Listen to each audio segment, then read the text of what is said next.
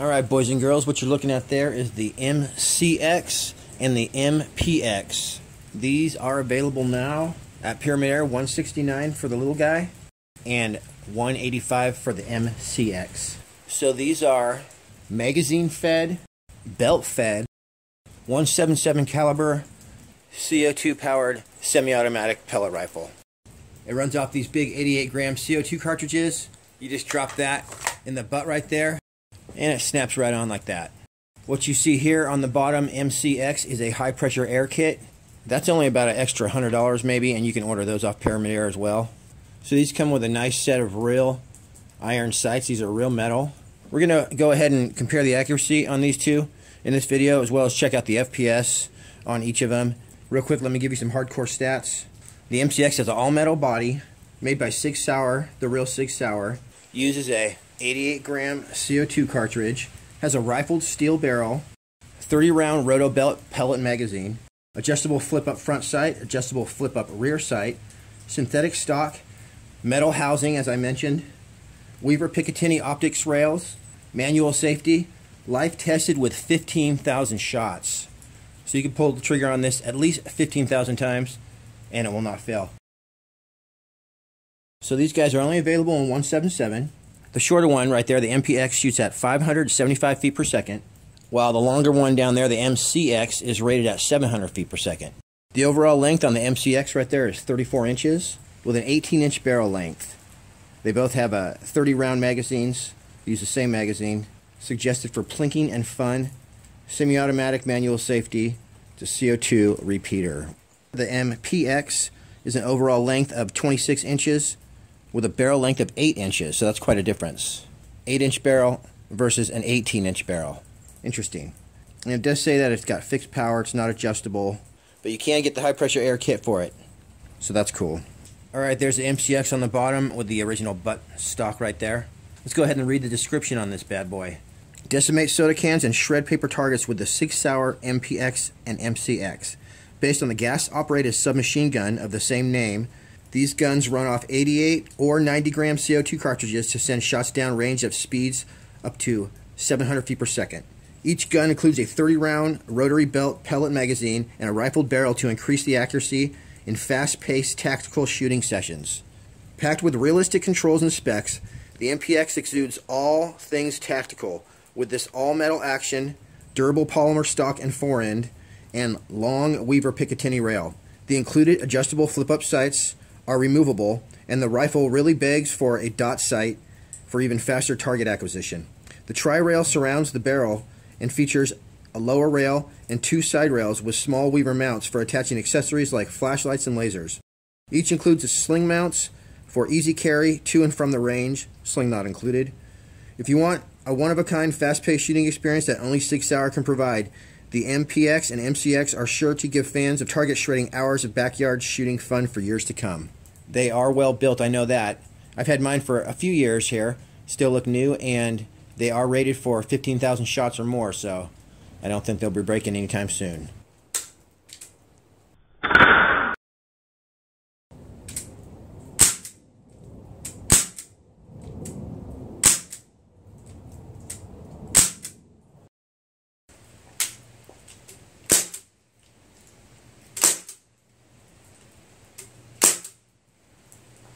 This is fully adjustable for windage and elevation.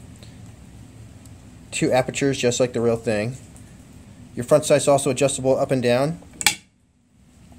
And you can flip it down when not in use. Once again, that's all metal right there. So on the MCX, of course, we got metal sights. This is a all metal charging handle. This whole upper receiver is metal. Lower receiver is metal. This magazine well is metal with metal switches and everything. We got a polymer magazine, polymer grip. The whole upper receiver, even the rail right here, is actually metal as well, where the charging handle is. And then the polymer begins right here. We got polymer come down here. Of course, we have metal internal barrel parts, and then this whole shroud right here is aluminum. So the weight on these guys is a hefty six and a half, seven and a half pounds, just like the real thing. So great training weapon. All right, let's see what the trigger pull is like on this guy.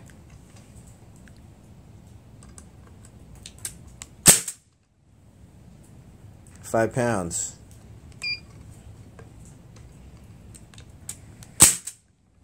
So it looks like about a five pound trigger pull. Right, and here's a larger MCX. Let's see if it's any different. So it looks like the triggers are exactly the same. That's cool. So here's the trigger right here. I guess you could say that that's a two stage or I don't know. I think this is a, probably a single stage trigger, so that's it. Actually breaks pretty cleanly. A little bit of kind of a clunky first stage, I guess you would call that, and then pop. Really nice break though. Yeah, boy, you could actually probably shoot some accurate rounds with this baby. So everything's exactly the same as like an M16 AR-15 on this. It's all super sturdy, and to get the magazine out, you just press the other side here. Slides right out. So to load this guy, you just open this door right here on the magazine. Pull this belt out. So you'll notice there's a ring on one side of the belt right there. You want that metal ring to be down on the surface. You just drop your pellets in like that and give them a little push and they'll seat right in there real nicely. Just fill up your belt and you'll be ready to go. Alright, so you see this little notch right here on the top. Okay, there's also one on the bottom right here. That is what you want to line up with that little tab sticking out right there. So you just slide that right through there and you're in. This thing will go right in like butter. It's going to go up here and just go all the way around like that. Now it's only going to go in one way. It should go in easy like that. And now you can see it'll just rotate indefinitely. Doesn't matter what position it's in. Close that baby up. And you just slam that magazine in there. Go ahead and pull the charging handle back. Just like the real thing. And you're ready to rock and roll. Alright, we're going to start this party at 12 yards away. Here's some of the pellets that I'm going to be trying out today. I'm going to start off with these 10.34 grains though. Sight this baby in. So I got my MPX outfitted with a pretty nice scope. It's an MTC Optics Mamba Light. Really awesome scope. Has a great reticle. Has a parallax down to 10 yards. Just really nice. And it has a nice metal scope cover on the front there. With my first magazine I was having a lot of issues with jamming. And then when you put these in, Okay, when you put these in, of course, you have to push them in like this, and you can actually feel them snap in. So you think they're in there, but then when they're rolling around the mag, they tend to fall out when they're, when they're trying to cycle. So we're to have to push these even further in and snap them way inside the magazine. So get yourself something a little bit pokey, but not something that's going to mess up, you know, the skirt and all that stuff. And we're going to go ahead and just snap those in there. You can see they're way inside there. So I'll bet you this is going to cycle perfectly now. Okay, I'm about 2400 psi and uh, a 3000 psi fill. I got my HPA hooked up to my MPX right here with my side shot. I think I'm ready to shoot a official group at 12 yards.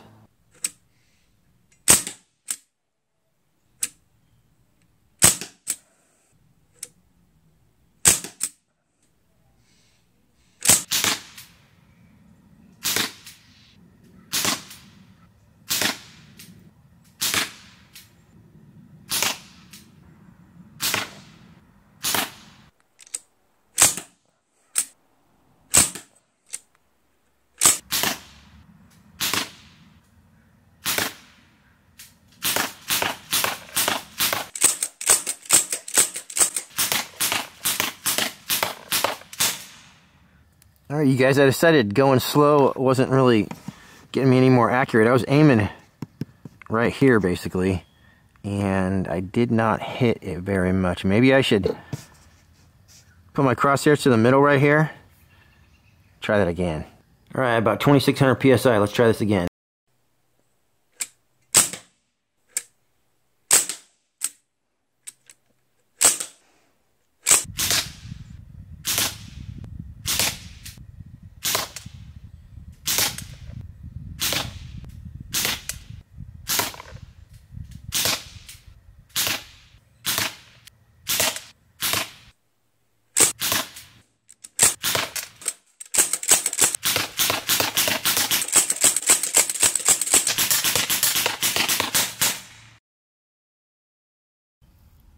There's my 30 shot group. Um, definitely throw some flyers every once in a while. Maybe JSB 10 grain is not the preferred pellet for this gun. So lighter pellets I have around right now are some Crosman Premiers. Right now we're shooting these right here. The pointy 7.4 grain Premiers. You can see them next to the 10 grains that we just shot. So hopefully these will be flying at a more accurate speed. Oh, yeah, these guys were going to come watch the SIG. Hey, buddy. Oh, that's a little baby fawn. Hi. This is part airgun channel, part nature channel. Hi, buddy. This guy's like about two feet tall. I think his friend's coming out there too. This is a Dasher and Prancer, I believe. And their mom's name is Daisy. Hey, buddy. Real cuties. Hi there. I'm about like probably 15 feet away from these guys right now. But they they like me. They totally trust me. They've been watching Airgun Channel since they were born. He's like, dude, can you get away from our apple tree, please? We were coming by to eat some apples and you're shooting. Sorry, buddy.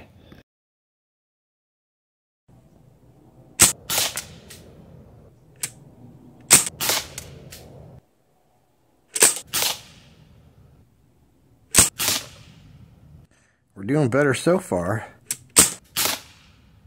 No extreme flyers.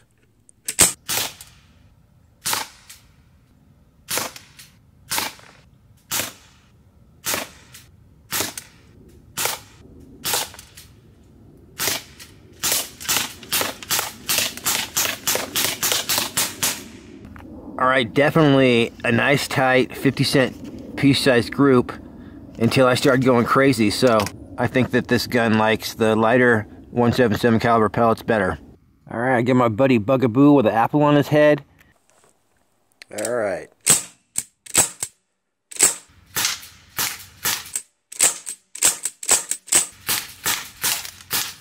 I was afraid of that.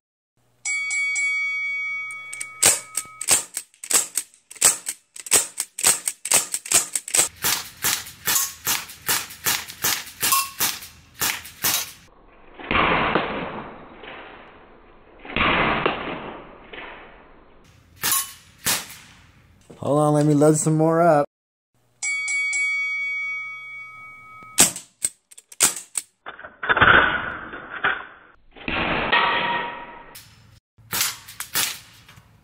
You know, it's kind of fun shredding the apple off this guy. This apple took about, shoot, probably at least 40 shots. Definitely don't eat this guy, you'll get lead poisoning. Thanks for helping us out, Bugaboo. No problem, Nate. And once again, thanks to your shooting, I am uninjured. Yep. Haven't hurt you yet. Got a little applesauce on you, though. You're so funny, Nate. All right, I got a target out there at 25 yards.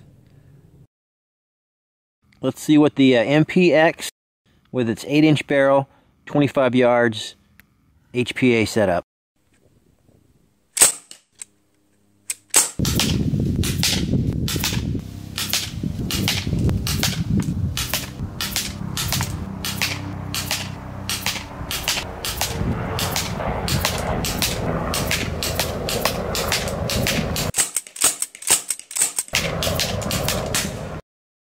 Okay, now that's not too bad for uh, 25 yards with an 8 inch barrel traveling between 5 and 550 feet per second. So the reason I shot this at 25 yards is because when we get the MCX out with its 18 inch barrel going 650 to 700 feet per second, we'll see the difference. Hopefully we'll get a little better group, but that did stay consistent even during rapid fire. All right, guys, I just found these JSB mystery pellets. I believe they are 8 grain JSBs, although the label got torn off. So I loaded up a clip of 30. I'm right at 3,000 PSI. I'm going to go ahead and shoot at 25 yards real fast, see what happens here.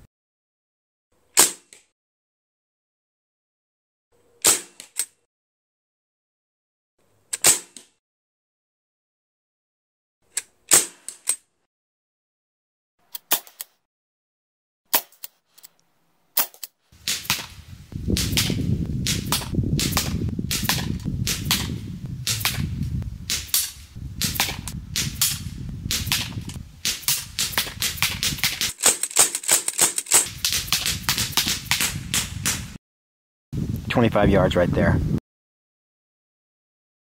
10 yards, JSB 8 grain, MPX 8 inch barrel, 30 round group.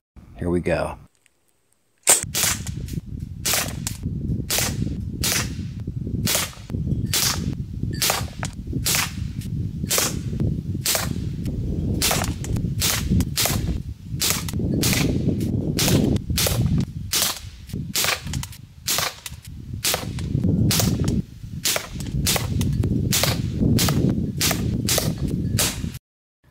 Was pretty sweet. We got a lot of shots in that quarter size bullseye. A few around the outside, maybe three flyers. And that is pretty good. So I think we found the pellet for this gun. The 8 inch barreled MPX likes the JSB 8 grains. Just to verify this impressive group with the JSB 8 grains, check it out. That's 30 shots. Not bad.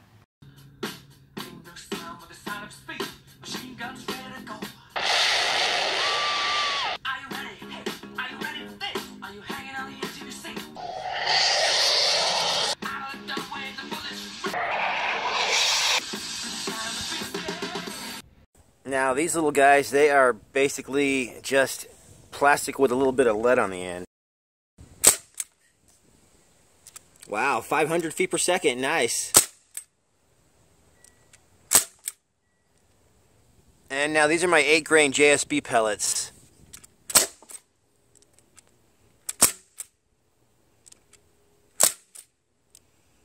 Alright, now that 10.5 grain Crosman Premier piranhas. Wow. So those heavy guys right there were uh, flying pretty good. All right, guys, these are some 13 grain.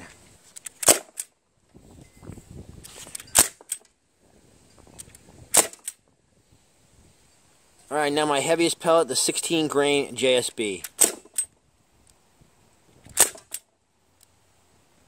These are 177 caliber Daisy pointed pellets and they weigh 8 grains. Got the MPX right here. We're going to go ahead and chronograph this baby and see what it does shot string wise from a 3000 psi fill. High pressure air.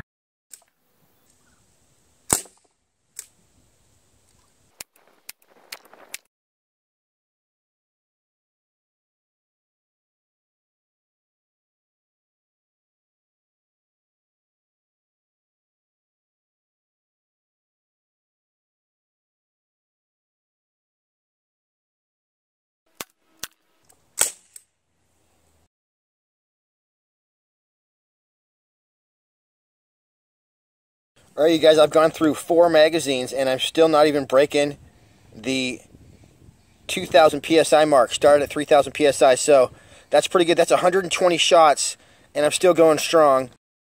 At more or less where I started between 290 and 350, so pretty amazing. Now on the chronograph meter, we have the MPX's big brother, the MCX.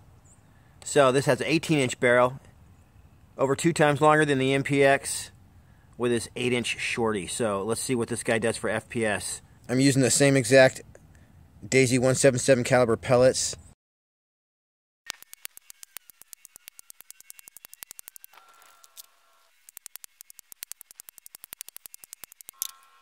There you guys see that? It's still at 2600 psi after two magazines.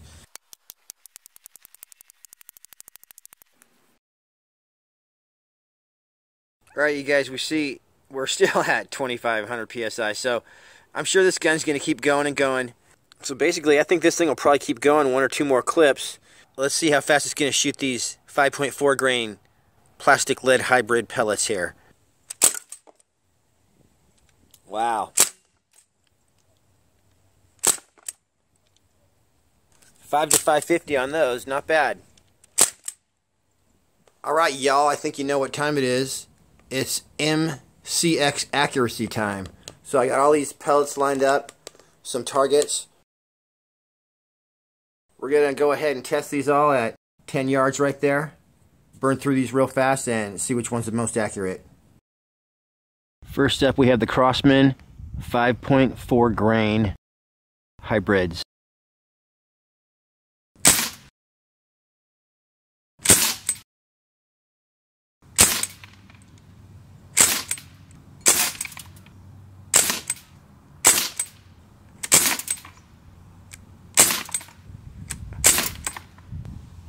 Very nice. Well, those did pretty good, you guys. I'd say that's almost a nickel-sized group. Eight of the ten inside of it. Very nice. Good job, guys. All right, these right here are some alloy with plastic tips. These, these are more ballistic than lightweight, but I do think they are between five and six grains right there.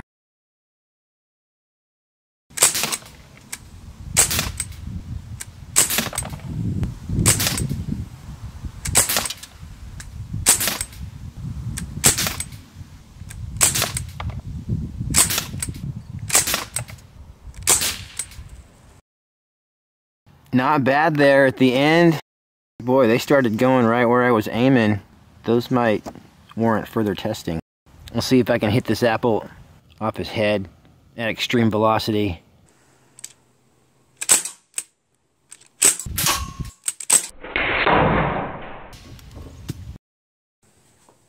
Now we got our good old pointy, I'm assuming these are around 8 grain daisies.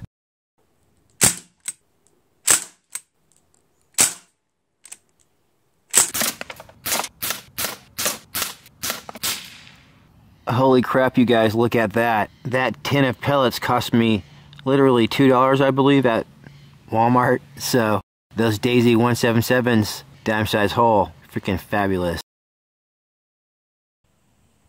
Alright, guys, gotta take a shooting break because, uh, my friend the deer is here with all his friends.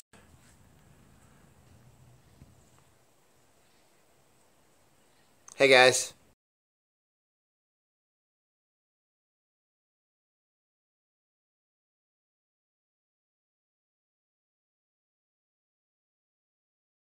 All right, you guys, these are exact heavy Diablos, 10.5 grain JSBs.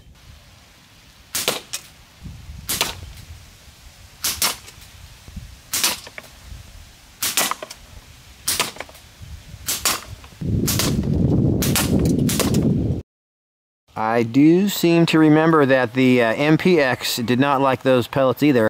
10.34 grain, no. And 8 grain JSBs, here we go. This gun is not like JSB pellets for some reason.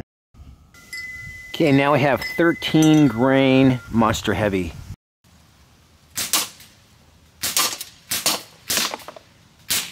That was weird. I think I should do one more group and aim a little higher.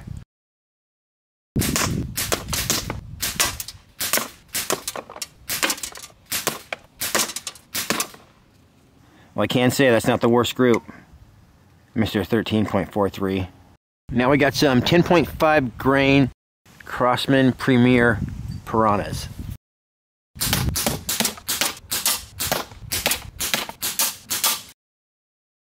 Okay, this might be kind of cool. I got my best shooting pellet, the Daisy 177s. I remember it was shooting a teeny bit to the right. Let's go ahead and pop these tins and see what happens.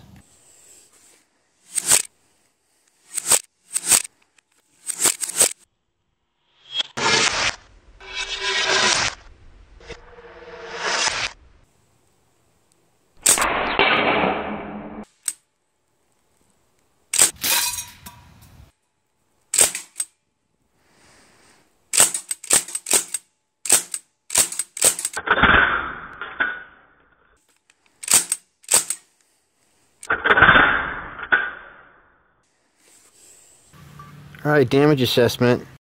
It definitely hit these, but it didn't punch clean through them like I thought it would. Gave them a good dent. But that's your damage assessment at 10 yards. Alright you guys, so right here I took my two most accurate MCX pellets and shot them at 25 yards.